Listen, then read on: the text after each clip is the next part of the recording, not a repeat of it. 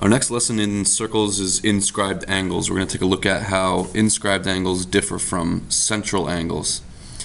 And what you're looking at here is an inscribed angle.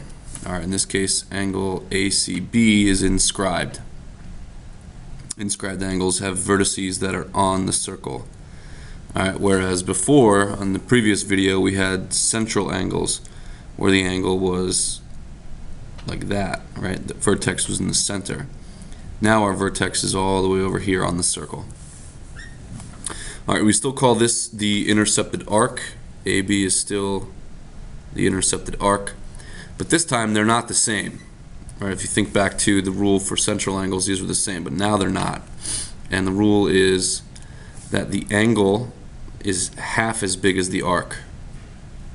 The inscribed angle is half as big as the arc it opens up to.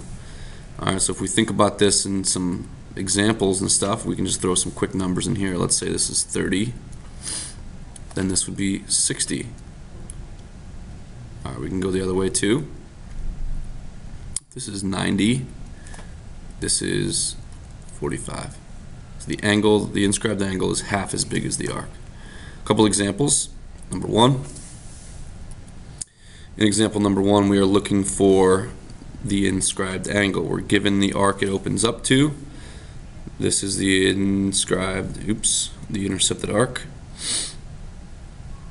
194. So what we need to do is simply take our little formula here, the angle is equal to half of the arc. So call x the angle, one half of 194 half of 194 is 97, I believe. 97 times 2 is 194. So there you go. Number two. Sometimes you'll be given the angle and asked to find the arc. So we're looking for this arc right here. Again, the angle, the inscribed angle, is half as big as the arc. If the arc is missing, we'll call that x. The angle is 40 so to get rid of the 1 half, you multiply both by 2. And there we go. So the arc is 80 degrees. Remember, the arc is always bigger than the angle. Uh, let's go to number 3. Call this number 3. Let's get that out of there. On number 3, we've got, let's see, what do we have here? We have an angle given, an angle of 50 degrees given, so we know the angle is equal to half as big as the arc. So 50 is equal to half of the arc. Make sure the arc goes in parentheses though. This time the arc has an algebraic expression attached to it.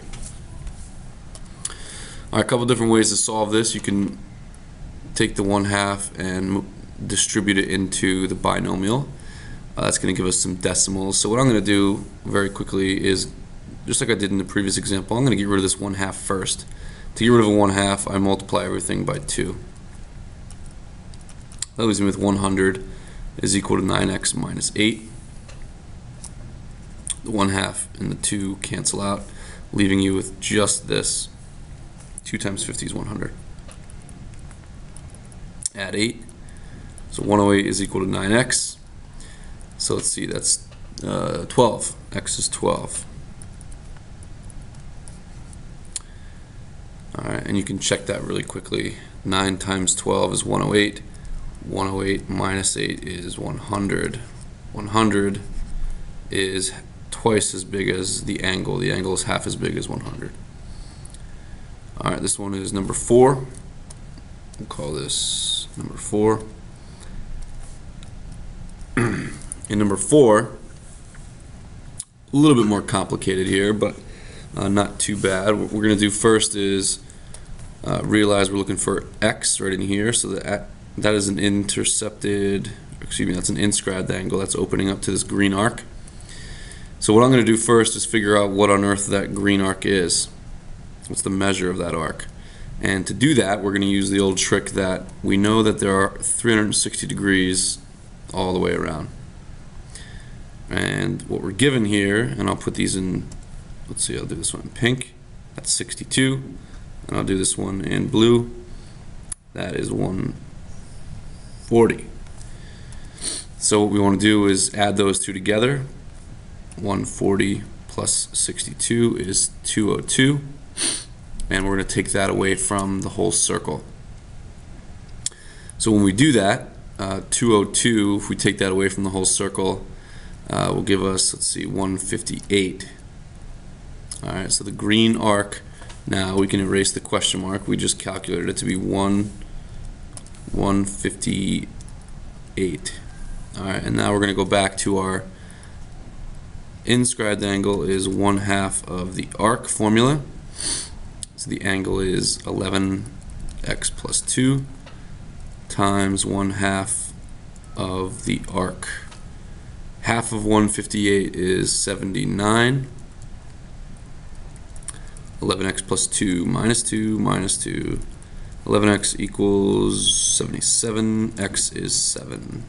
We'll divide that by 11 right here to get x is 7. And again, check that. 11 times 7 is 77, plus 2 is 79. 79 degrees is half of 158. That checks out really well. All right, so that's some uh, quick examples there on inscribed angles.